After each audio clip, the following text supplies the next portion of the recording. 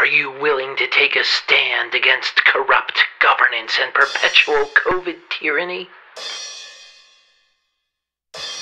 Ravi Bhalla, he wants you to pay more tax and make sure you and the kids never unmask.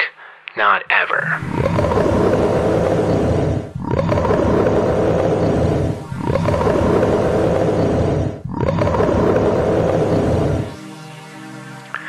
Trumpy? Like Donald Trump?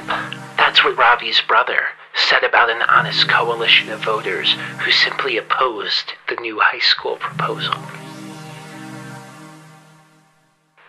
Please, Mayor Ravi Bhalla, please, you have to end the mask mandate. You have to stop with this madness. Stop abusing your constituents in Hoboken. That's exactly what you're doing.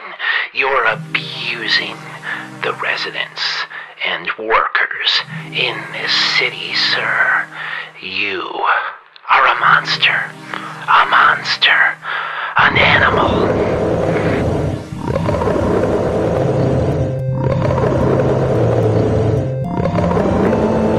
Ravi's career is a going down the drain. Ravi's career is a going down the drain. So are all our lives.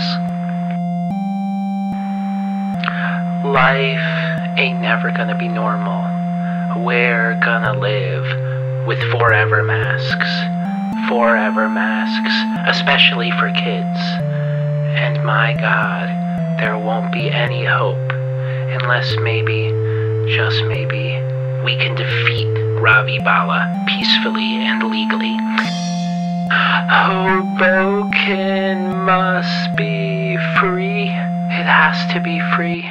It just has to.